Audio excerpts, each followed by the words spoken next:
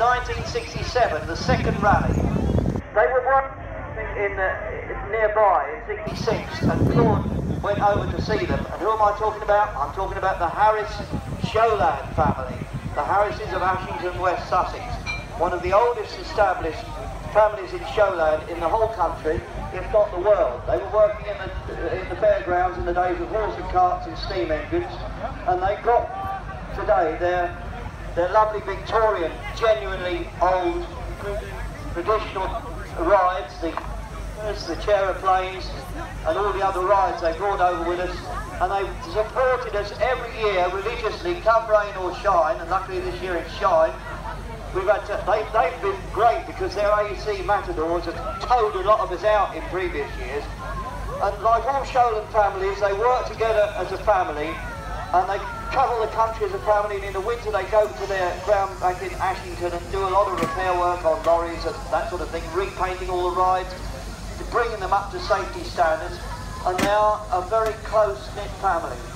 Very sadly, last week, one member of that family Doug passed from us and longer with us. Hence, you'll see on the top of the the, uh, the gallopers there, the flag, and on top of the uh, the striker and the other rides, the flags uh, at half mast.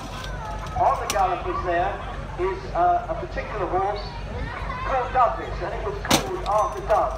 And it's the horse on the gallopers you'll spot it because it's the only horse with a black armband, or in this case a black neckband. I was hoping to have Doug's wife Anne here with me, but she's not come up. But um, in a minute, I'm going to call for a minute's silence in honour of Doug Harris because he is he was part of the fair here and as much part of Tinker's Park as any of us here today, more so in fact. And um, I know that Robert and all the other members of the uh, TED and everybody that's uh, Fred and all the rest of the members of the family are here today and they haven't said, well, we're not doing it, Doug's just gone. They, they pull together and they come along and they're running the show for us in, in the face of all that sadness. The funeral takes place in a week's time, I believe. Doug was well known. Um, I, I mean, I knew him because he's a great AEC fan, so me and my son. He was a, what he couldn't do with an AEC Matador. We got the famous Harris Matadors. They're their second World War Army lorries and they're doing a fantastic job of pulling these things around. And, and Doug was responsible, largely responsible, for keeping them on the road. And uh, they're still doing the job they were built for, more so now, I think, than ever in the, ever in the war. He, he worked for many years for Southdown, Southdown Bus Company. Remember them? He used to work on all their uh, all their repairs down, I suppose, at the Portslade garage, I would think. Um, and of course, they, they were a company that had loads of Leylands, and we always used to joke that the only AEC in the fleet was the AEC Matador that Doug looked after. They used to have to go out and them all in when they broke down. Um, he, he was also well known for his expertise with Gardner engines. Now, as well as the AECs and the Leylands, Gardners were prolific manufacturers of engines, and because they were so reliable plodders, they just kept on going. All the Showland families had them for generators. And of course, again, if it, if it needed fixing, the man to call on was Doug Harris. Um, apparently, something I didn't know, he, he, then went on after Southdown to work at Gatwick for, I believe, British, Air, British Airways, or, or, as it was then, BOAC. Um, and he, he drove the he drove he had a crew bus. He drove the crews out to the airliners uh, when they used to take you over to, on foreign holidays. So that was his job after the Southdown. But most of the time he was with the fairground. He and his daughter and his wife had a lovely little, what we call a juvenile ride. In other words, it was a ride, a small ride for children. And he used to drive that around the country using, again, a wartime lorry. I think it was a Bedford Q type lorry. Um, and he had Alan Doug Harris on it, written on the sign writing. And so that was another job for him. He was a man of all trades and all seasons. He is going to be very sadly missed. So, ladies and gentlemen, I would ask you, please, to have some respect, and we're going to have a minute silence for Doug.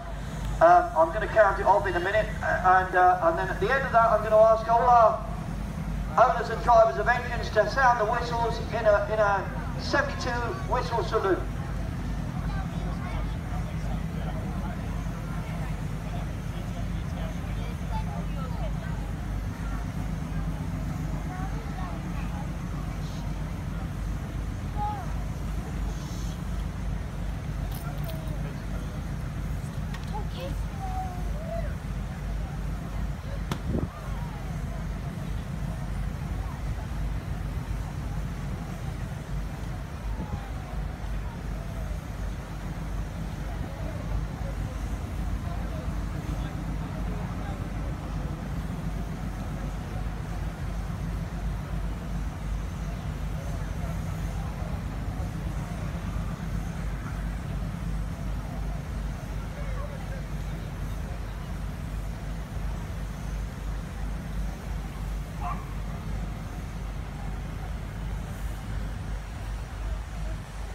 Thank you, lads.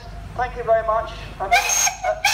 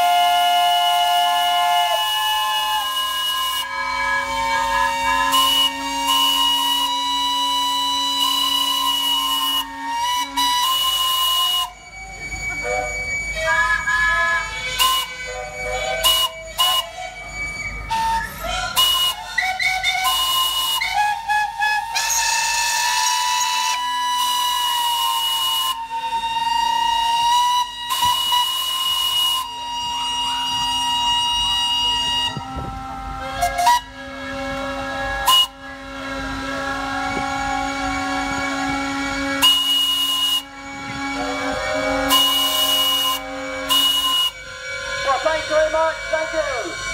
No, we, we were uh, we were down in the. Uh, I was down talking to the Harrisons yesterday that was setting up, and it, it, the big thing that uh, we all remember about Doug was he had the most fantastic sense of humour.